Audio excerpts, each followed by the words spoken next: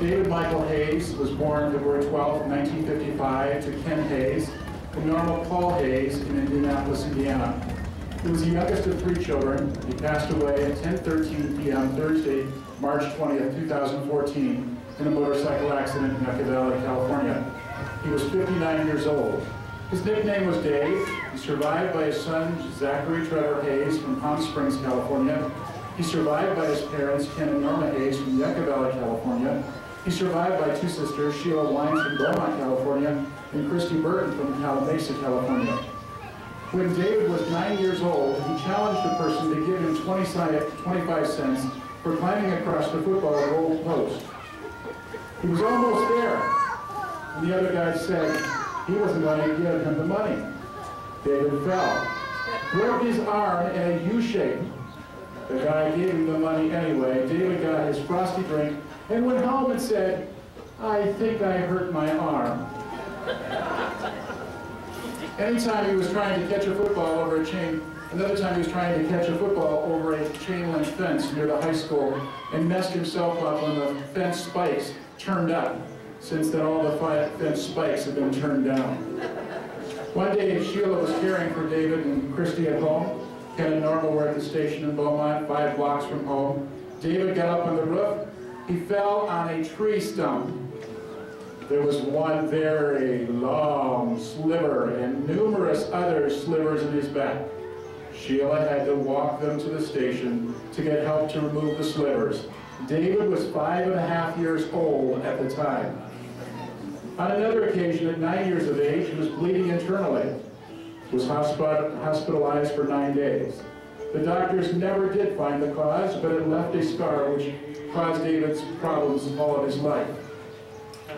He attended elementary, junior high, and uh, the first two years of high school in Beaumont, California. He attended Yucca Valley High School. He graduated from the 29 Palms Continuing High School in 1972. He served in the United States Navy as an interior communications electrician. He served on a Navy supply ship and was stationed in Japan. David was honorably discharged in San Diego on November 21, 1975. He attended college classes at National University and College of the Desert. He had enough credits to get his degree, except algebra. that one course kept him from getting his bachelor's degree. He was married to Margie Drake for five weeks. She died of a blood poisoning in December 1984. In 1985, he was in Betty Ford Center. After treatment, he was told he was not ready to go back home.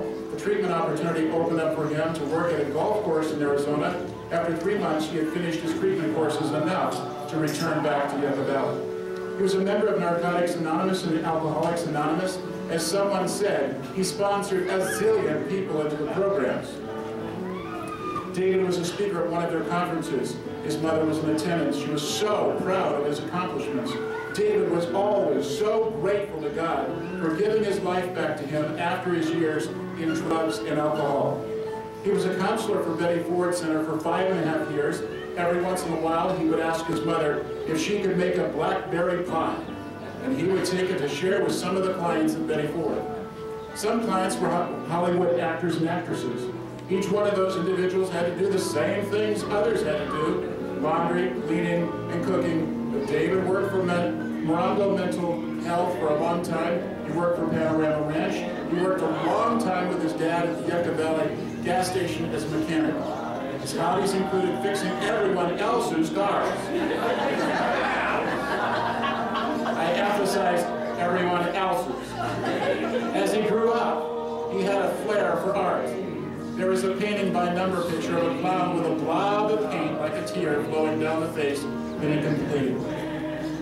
He loved motorcycles and was involved in many rides. He and Zackary went a couple times to the Sturgis Rally.